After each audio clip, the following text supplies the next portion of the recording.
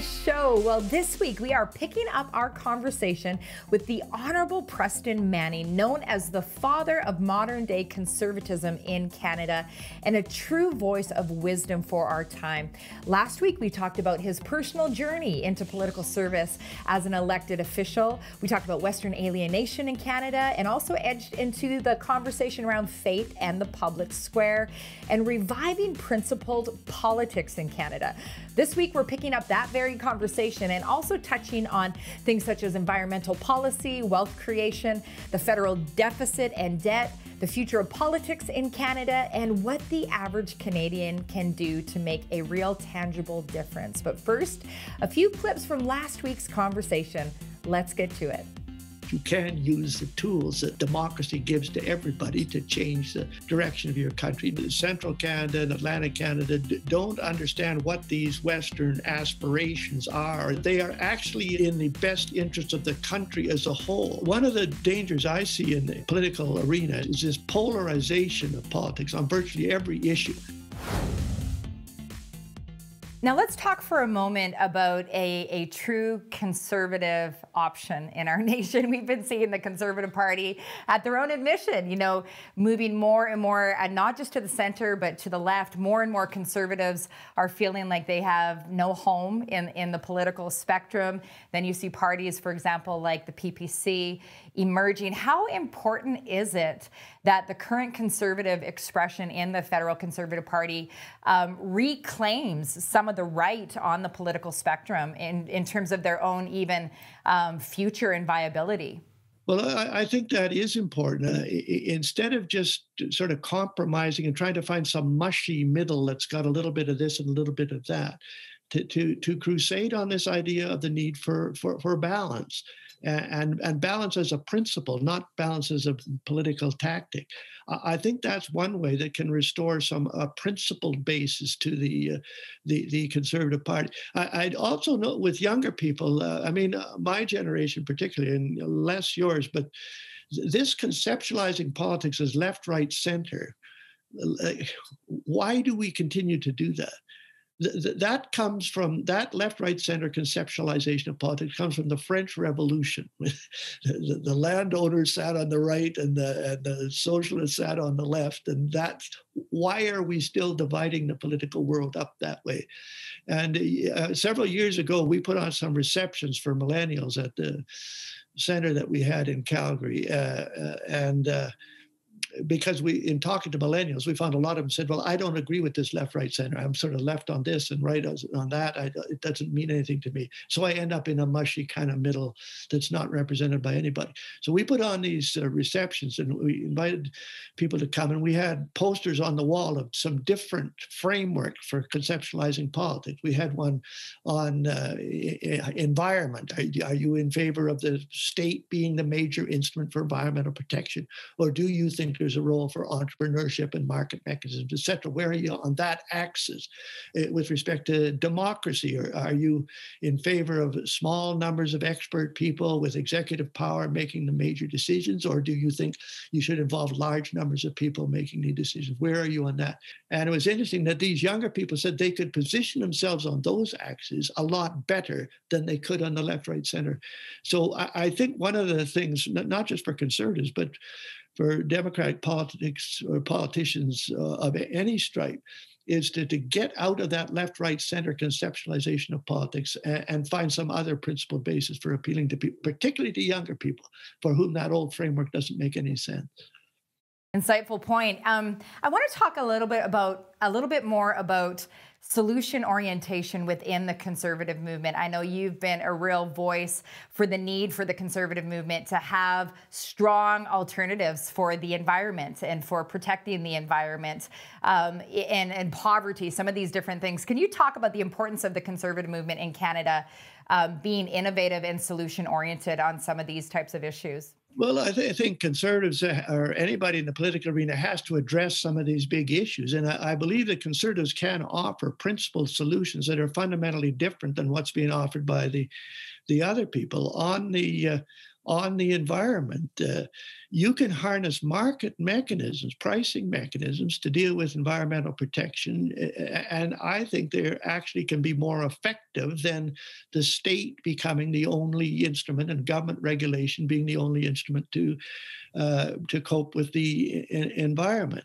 The uh, with respect to poverty, which you know everyone should be concerned about, we've tried for whatever it is 50 years 70 years to cope with poverty through uh, income redistribution through progressive taxation. Take some money from people that got it and give it to people that don't. This has been tried and how well has it worked you can go to any poor area of um, Western Canada or any part of Canada and ask people, has this worked? That's been the prevailing philosophy, particularly on the part of liberals and, uh, and uh, social democrats, and it doesn't work. Another approach is to have a better distribution of the tools of wealth creation as distinct from just redistributing income.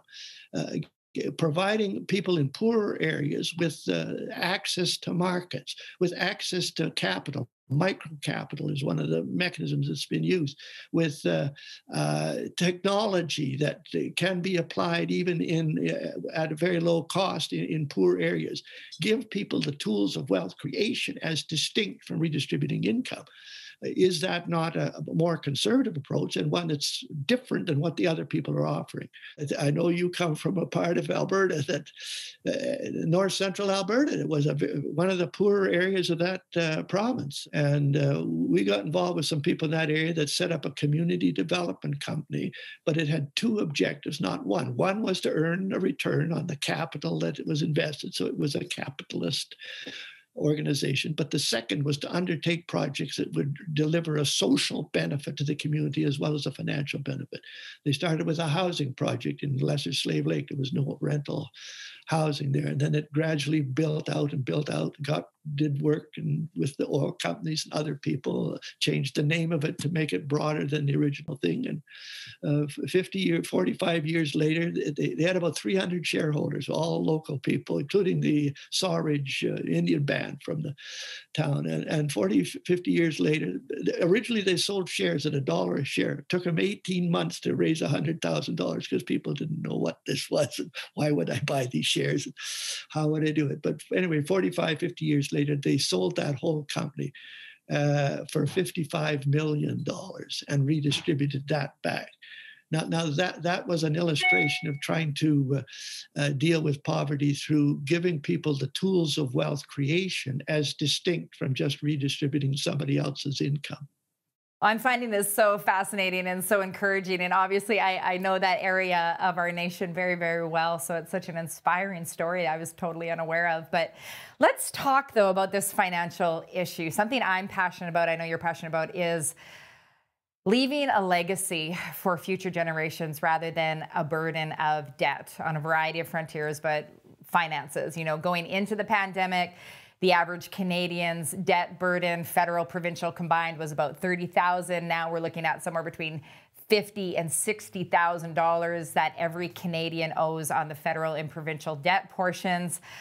Mr. Manning, if your grandson was the Prime Minister of Canada, you know, what would be your advice to the current leadership in terms of how to dig our, ourselves out of this hole and set the next generations up um, for prosperity rather than massive taxation because of the debt burden?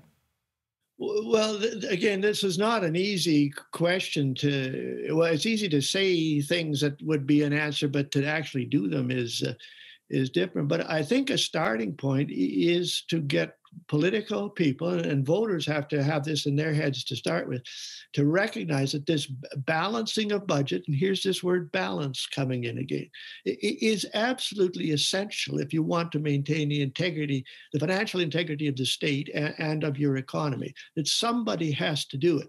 And the difference is i we crusaded on this in 80s, the, the federal budget, uh, even under conservatives, let alone under liberals, got up to the deficit got up to $50 billion, which was unheard of in those days. But even in those days, even the liberals would agree that we, we got to do something about it. It can't keep going like this.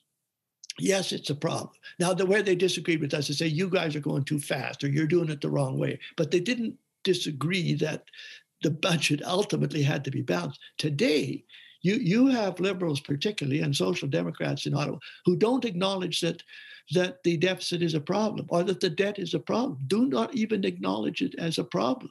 And you're never going to get a solution if you don't acknowledge that you've got a problem in the first place. So I think a starting place is to convince Canadians, again, when the politician knocks on your door and has, you know, uh, all sorts of nice, flattering things to say to you, excuse me, I want to know, are you or are you not in favor of balancing the federal budget? And where is the program for doing that?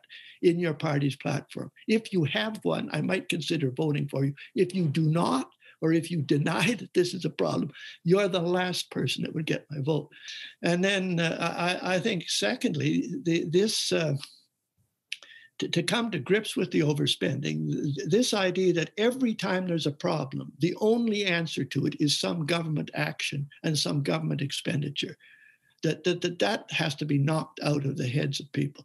That a lot of these problems, yes, the government can play a role, but it can't be the sole answer and it financing it's a pro another program to deal with that will just add to this deficit and debt. Th- those are two kind of fundamental uh, attitudinal changes I think that have to happen before you're actually going to be able to come to grips with the uh, with the deficit and, and, the debt. How to introduce an issue that's particularly got moral and ethical dimensions in a society that's completely hostile to the subject. We love Canada, and we want to see it strong for generations to come. That's why we do this show we can't do it alone. We need your help. Unlike commercial TV, this program is 100% donor funded. If you'd like to see more episodes produced on important issues for our nation, please consider signing up to be a monthly partner or giving a special gift today. Every gift makes a real difference, and all gifts are tax deductible. Together, we can build a better Canada for the future. Visit faytene.tv or call 1 866 844 0844 to donate today. Mr. Manning, one of the things that you often talk about is the legacy of William Wilberforce. And here's a man out of a, a motivation of his faith, gets involved in uh, politics, uh, takes up the cause to end the slave trade, and after 50 years uh, is able to execute. For Canadians today watching this, what are some of the lessons that we can learn from Wilberforce's story? The, the classic issue campaign that people ought to study is that campaign conducted by William Wilberforce and his colleagues to try to get slavery abolished within the British Empire. And uh, one of the guidelines that Jesus gave to his original gang before he sent them out to do any public work was this uh, be, be wise as a serpent and gracious as a dove and and that campaign conducted by Wilberforce uh, illustrated a lot of that, both that wisdom and that graciousness. But just some of the uh, some of the lessons from it. Uh, uh, often if it's a moral issue, people who feel strongly about it, let's say people of faith, want to ride into the political arena, ride into the House of Commons on a white horse, brandishing their sword and denouncing the evil that they're trying to eliminate and, and, denouncing anybody connected with it and saying, why don't we immediately do something about it? And uh, the interesting thing about Wilberforce had a, a, a, colleague, or William Pitt, who was actually the prime minister. These were young uh, people at that time. Pitt became prime minister at the age of 24. Wilberforce, I think, was 22. And Pitt was shrewd as the devil. Uh, he, he didn't particularly share Wilberforce's faith, but he was shrewd. And I think he said to Wilberforce, if you ride into the House of Commons, like the, you, in that day, you couldn't discuss slavery in the British uh, House of Commons, particularly in the House of Lords. Uh, partly because a lot of those people were benefit. They weren't slave owners, but they were benefiting from the slave trade and its benefits to England. And and said, you ride into the House of Commons crusading like that, and that subject will then not be discussed for another 20 years. So how do you introduce this moral subject, like abortion might be today, that is considered taboo? You can't talk about that here. Well, uh, uh, Wilberforce framed this resolution. I actually have a copy of it somewhere. That this House give consideration to the circumstances surrounding didn't, didn't even talk about slavery, but the slave trade. That this house give consideration to the circumstances.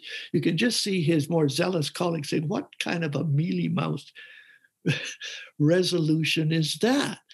But he managed to get that to legitimate the discussion of a taboo subject in an electoral arena or, or, in a political arena where it was taboo before.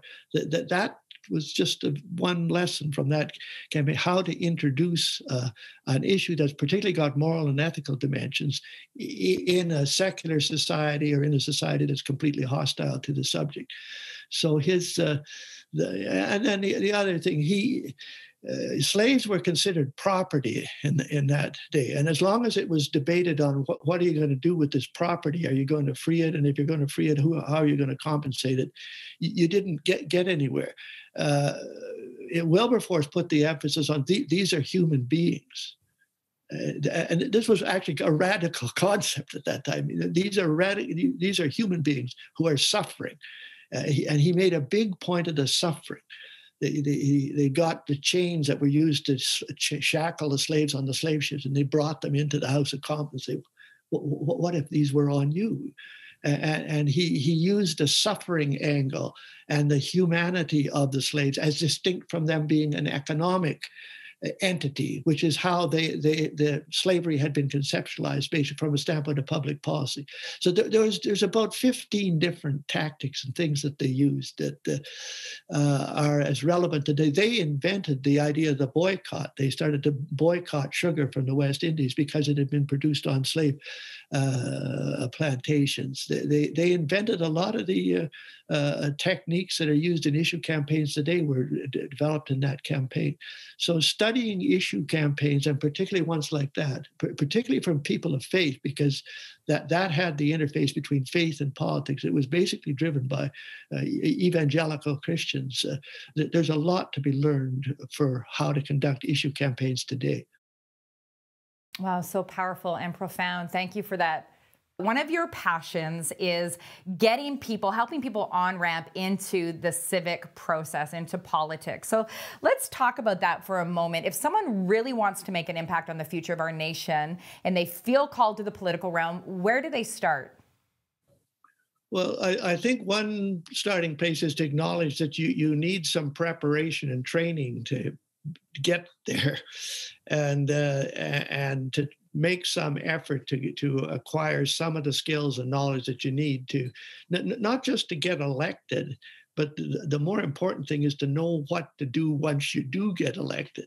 So uh, I, have been a big advocate uh, like it, it, to become a the barista at starbucks you, you need at least 15 hours of training to know the difference between a a mocha and a latte. But you can become a lawmaker in the Parliament of Canada or in a legislature without one hour of training in lawmaking, or without one hour of training in public finance, without one hour of training in the relationship between science and public policy. And uh, what I uh, urge a lot of younger people to do is get, get some training and expertise before you get there rather than try to learn on the job. And uh, I've been involved in trying to set up some programs that would help do this. There, there's one at Carleton University, a graduate program in political management. Uh, it was financed by uh, Clay Riddell, an oil patch guy from Calgary. And it, it's one way of getting some advanced training in that area. The uh, University of British Columbia has this uh, um, pro, summer school program for future legislators, the Institute for Future Legislators. And there's other programs as well well. So I, I try to encourage people to get some training and preparation before you get into the into the arena. We're talking some some big issues here, you know, Western alienation, unity, uh, civil liberties. We've touched upon that a little bit. Um, but to the person that's watching this right now, who's just saying, listen, there's just, there is no point in me even getting involved. This is on, this is a, a train on a, a tra fast trajectory to wreckage. And I'm just to um, love my babies and try to enjoy life as much as I can, but I'm not really to get involved. What do you say to that person who feels a little bit defeatist and maybe point them to some of the, the pointers that you emphasize in your amazing book, 365 Ways to Do Something to build a better Canada for the future? Well, I, I, acquaint people with what I call the iron law of democratic politics. If you choose to not involve yourself in the politics of your country, you will be governed by those who do. Now, if you don't like what those who do are doing now, your only alternative is to get involved in some way, shape, or form. And you say, I've got that book on do, do something uh, I make a big point of yes, there's the political parties, and you, you can get involved with a, a, a political party, and it's it's it's one of the freedoms that we do have. But I, am on the conservative side. I distinguish between the parties and, and what I call the conservative movement.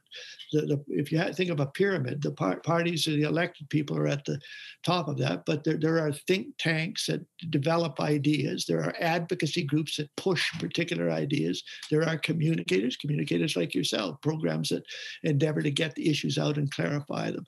There's uh, financial donations that have to be made to all of these things.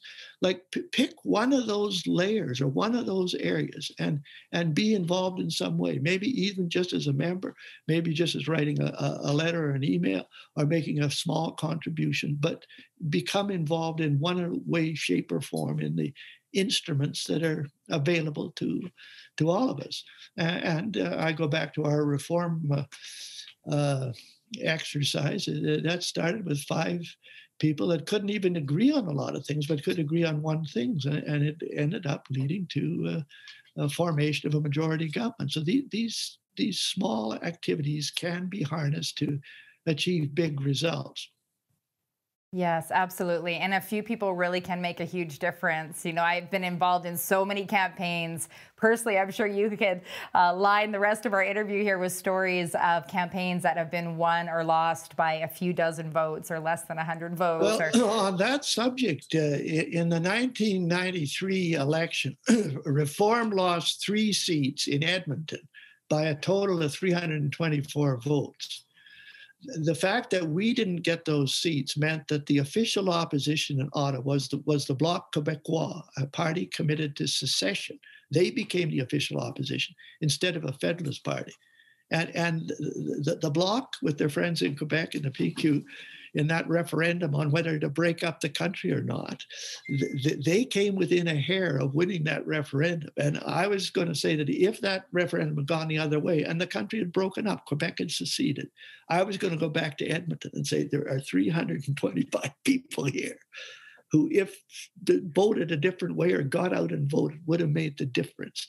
But as it was a result, the, the a separatist party became the official opposition and used that platform to promote uh, Quebec secession like uh, they, they never could have if, if they'd been the third party. So th- this business of my vote doesn't count or what difference does it make? Yes, you never know what your vote make, how much it may count, which is just another reason for, for, for taking it seriously.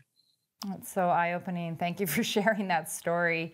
So, in our final moments here, the Honorable Preston Manning, and this has been such a treat, such a delight. I know this is going to be an interview that myself and my husband will watch over and over again, share with our children. Uh, any final words for the nation of Canada, for those that are watching here, 2021? Where do we go as a nation? How to, do we move our nation forward in, in times like these?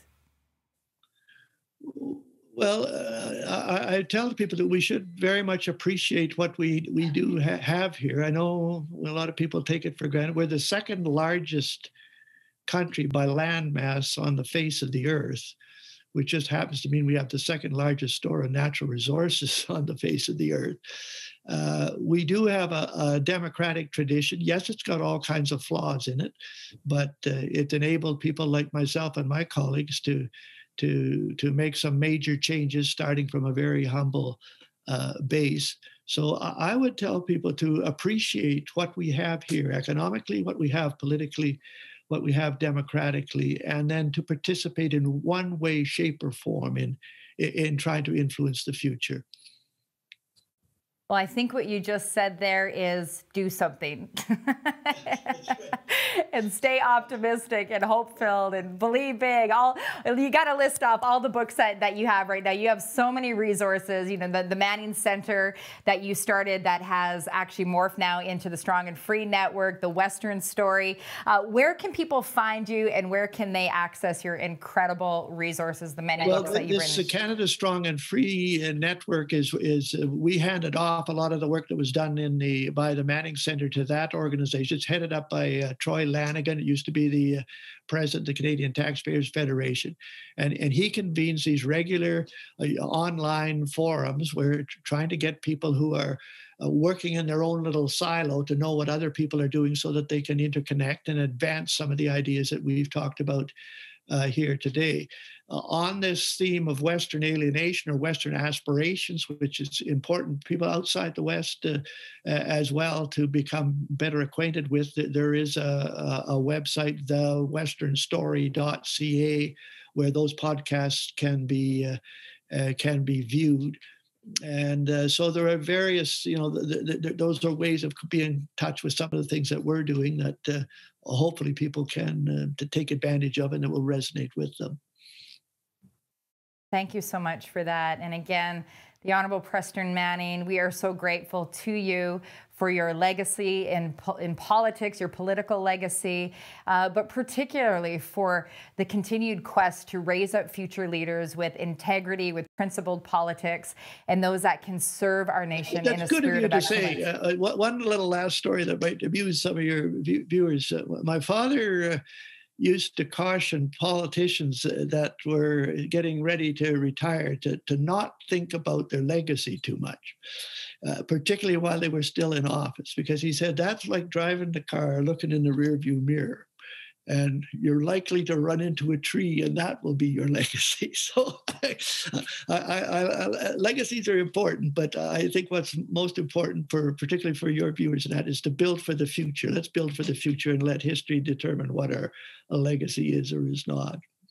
Well, we appreciate those words and we appreciate your leadership and thank you so much for your generosity and your, your time today. The Honorable Preston Manning. Thank you very much. Thanks for tuning in this week for this insightful conversation with the Honorable Preston Manning. If you would like to watch this show again, or the first part of the interview, or any of our other previous programs, there are several ways that you can do that. Simply go to fay where this show is posted along with other previous episodes for your viewing convenience as well. We also wanted you to know that we have a free smartphone app that you can download to your phone and get alerts every single week when new shows are posted.